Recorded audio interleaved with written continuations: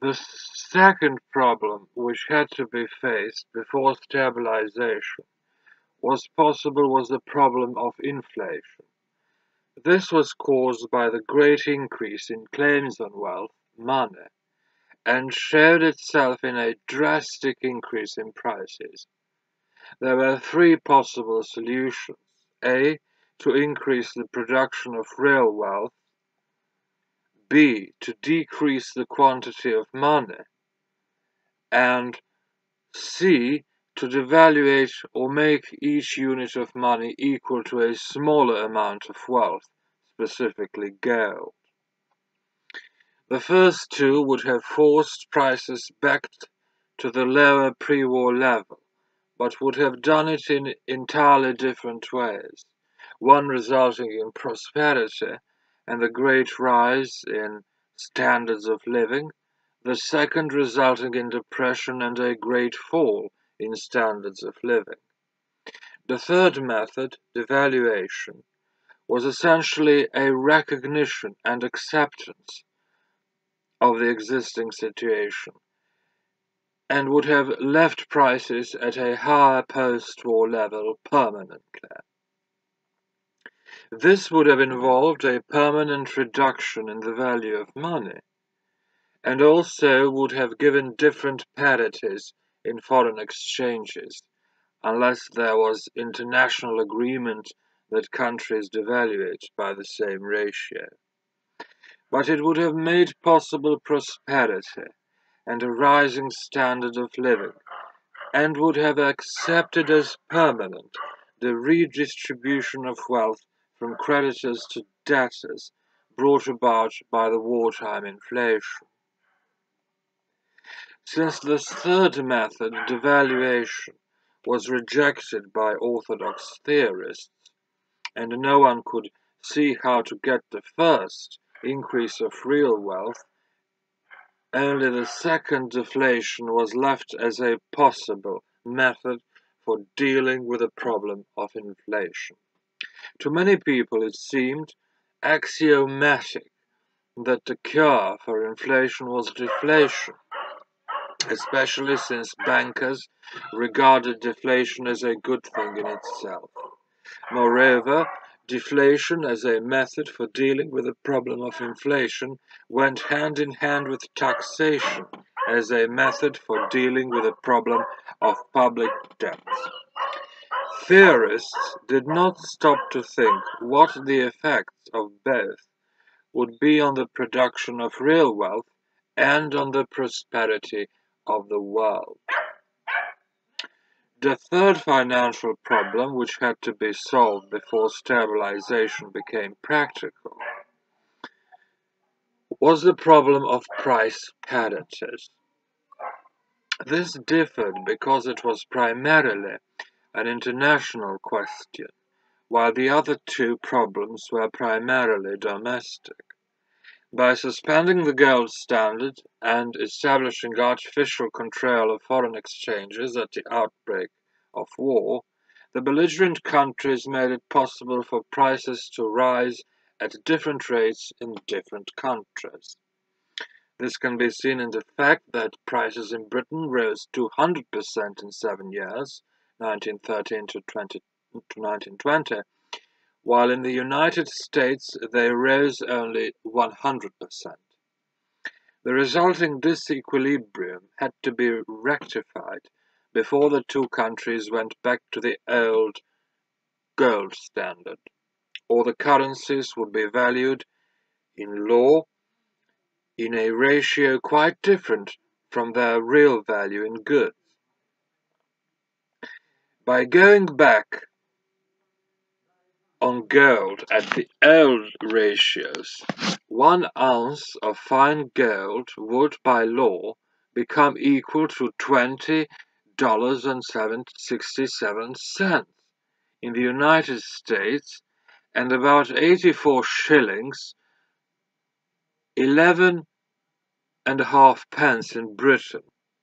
For the 20 $0.67 in the United States, you could get in 1920 about half of what you could have bought with it in 1930. For the 84 shillings, 11 and a half pence in Britain, you could get in 1920 only about a third of what it would buy in 1913. The ounce of gold in the United States would be much more valuable than in Britain, so that foreigners and British would prefer to buy in the United States rather than in Britain, and gold would tend to flow to the United States from Britain with goods flowing in the opposite direction. In such conditions, it would be said that the pound was overvalued and the dollar undervalued. The overvaluation would bring depression in Britain, while the United States would tend to be prosperous. Such disequilibrium of price parities could be adjusted either by a fall of prices in the country whose currency was overvalued, or by a rise in prices in the country whose currency was undervalued, or by both. Such an adjustment would be largely automatic, but at the cost of a considerable flow of gold from the country whose currency was overvalued. Because the problem of price parities would either adjust itself or would require international agreement for its adjustments, no real attention was paid to it when governments turned their attention to the task of stabilization. Instead, they concentrated on the other two problems and above all, devoted attention to the task of building up sufficient gold reserves to permit them to carry out the methods chosen in respect to these two problems. Most countries were in a hurry to stabilize their currencies when peace was signed in 1919. The difficulties of the three problems we have mentioned made it necessary to postpone the step for years. The process of stabilization was stretched over more than a decade, from 1919 to 1931. Only the United States was able to return to the gold standard at once and this was the result of a peculiar combination of circumstances which existed only in that country. The United States had a plentiful supply of gold. In addition, it had a technological structure quite different from that of any other country, except perhaps Japan. American technology was advancing so rapidly in the period 1922 to 1928 that even with falling prices there was prosperity, since costs of production fell even faster. This situation was helped by the fact that prices of raw materials and food fell faster than prices of industrial products, so that production of these latter was very profitable. As a result, America achieved to a degree greater than any other country a solution of inflation and public debt which all theorists had recognized as possible, but which none had known how to obtain. The solution to be found in a great increase in real wealth. This increase made it possible simultaneously to pay off the public debt and reduce taxes. It also made it possible to have deflation without depression. A happier solution of the post-war problems could hardly have been found, for a time at least. In the long run, the situation had its drawbacks, since the fact that costs fell faster than prices and that prices of agricultural products and raw materials fell faster than prices of industrial products meant that in the long run the community would not have sufficient purchasing power to buy the products of the industrial organization. This problem was postponed for a considerable period by the application of easy credit and installment selling to the domestic market and by the extension to foreign countries of huge loans which made it possible for these countries to buy the products of American industry without sending their own goods into the American market in return. Thus, for, from a most unusual group of circumstances, the United States obtained an unusual boom of prosperity. These circumstances were, however, in many ways a postponement of difficulties rather than a solution to them, as the theoretical understanding of what was going on was still lacking. In other countries, the stabilization period was not so happy.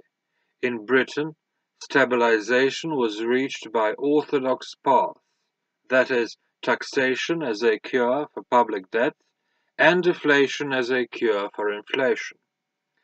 These cures were believed necessary in order to go back to the, on the old gold parity.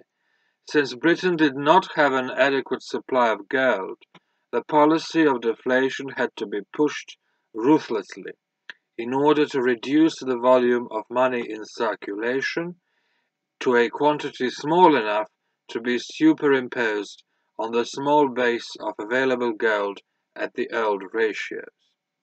At the same time, the policy was intended to drive British prices down to the level of world prices. The currency notes, which had been used to supplement banknotes, were retired and credit was curtailed by raising the discount rate to panic level. The results were horrible. Business activity fell drastically, and unemployment rose to well over a million and a half. The drastic, the drastic fall in prices from 1307 in 1920 to uh, 197 in 1921 made production unprofitable unless costs were driven down even faster. This could not be achieved because labor unions were determined that a burden of the deflationary policy should not be pushed onto them by forcing down wages. The outcome was a great wave of strikes and industrial unrest. The British government could measure the success of their deflation only by comparing their price level with world price levels. This was done by means of the exchange ratio between the pound and the dollar. At that time, the dollar was the only important currency on gold. It was expected that the forcing down of prices in Britain would be reflected in an increase in the value of the pound in terms of dollars on the foreign exchange market. Thus as the pound rose gradually upward toward the pre-war rate of $4.86, this rise would measure the fall in British prices downward to the American or the world price level. In general terms, this was true, but it failed to take into consideration the speculators, who, knowing that the value of the pound was rising, sold dollars to buy pounds, thus pushing the dollar down and the pound upward faster than was justified in terms of the changes in price levels in the two countries. Thus the pound rose to $4.86, cents, while the British price level had not yet fallen to the American price level. But the Chancellor of the Exchequer Winston Churchill, judging the price level by the exchange rate, believed that it had and went back on the gold standard at that point. As a result, sterling was overvalued and Britain found itself economically isolated on a price plateau above the world market on which she was economically dependent. These higher British prices served to increase imports, decrease exports, and encourage an outflow of gold, which made gold reserves dangerously low. To maintain the gold reserve at all, it was necessary to keep the discount rate at a level so high, 4.5% or more, that business activity was discouraged. The only solution which the British government could see to this situation was continued deflation. This effort to drive down prices failed because the unions were able to prevent the dr drastic cutting of costs, chiefly wages, necessary to permit profitable production on such a deflationary market. Nor could the alternative method of deflation by heavy taxation be imposed on the necessary degree to the necessary degree on the upper classes who were in control of the government. The showdown on the deflationary policy came in the general strike of 1926.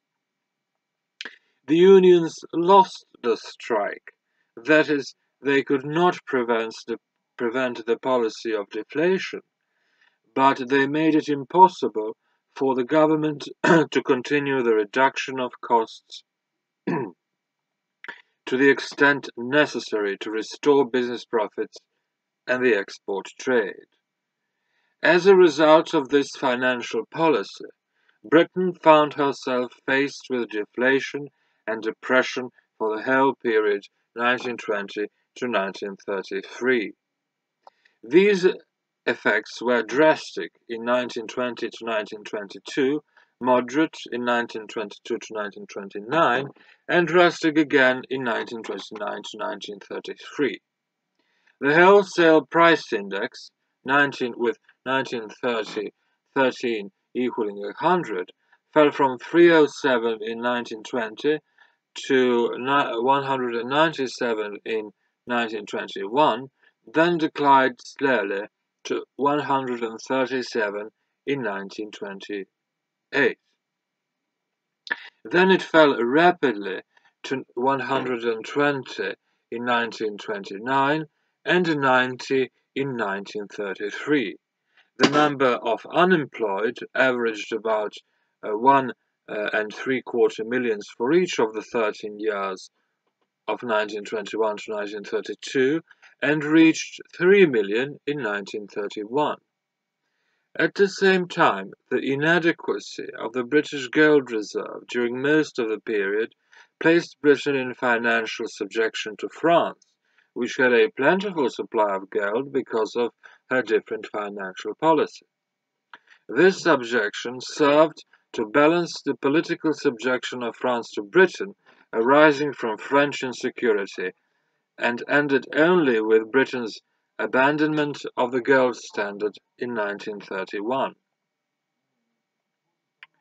Britain was the only important European country which reached stabilization through deflation.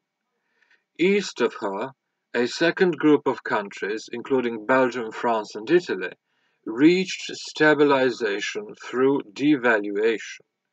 This was a far better method it was adopted, however, not because of superior intelligence, but because of financial weakness. In these countries, the burden of war damage reconstruction made it impossible to balance a budget, and this made deflation difficult. These countries accepted orthodox financial ideas and tried to deflate in 1920 to 21 but after the depression which resulted, they gave up the task. Belgium stabilized, once at 107 francs to the pound sterling, but could not hold this level and had to devaluate further to 175 francs to the pound, October 1926. France stabilized at 124.21 francs to the pound at the end of 1926, although the stabilization was made de jure only in June 1928. Italy stabilized at 92.46 uh, lire to the pound sterling in December 1927.